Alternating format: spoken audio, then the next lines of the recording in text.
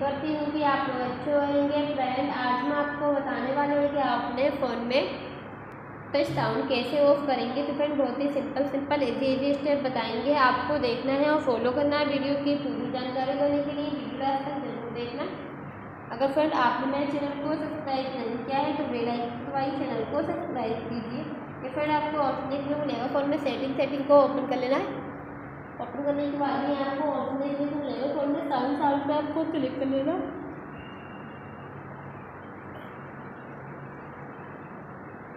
तो आपको एप्लीकेशन देखने को मिलेगा फ़ोन में साउंड साउंड पे आपको क्लिक कर लेना क्लिक करने के बाद में एडवांस पे क्लिक करेंगे।